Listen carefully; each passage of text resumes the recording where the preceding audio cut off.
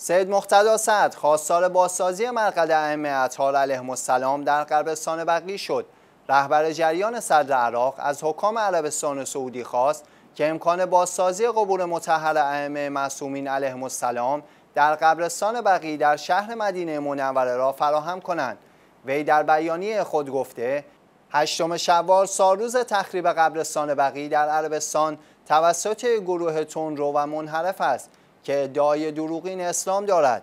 وی افزود دهها سال از این اتفاق میگذرد و عربستان تحت فشارهای افراد تندرو نسبت به این مسئله بی توجه است. مقتدا با اشاره به ادعای مقامات عربستان به تلاش برای اصلاح و رفع فشار بر ادیان و مذاهب دیگر در این کشور از مقامات عربستان به ویژه محمد بن سلمان ولی عهد این کشور خواست قبور ائمه علیهم السلام در بقیه را بازسازی کنند.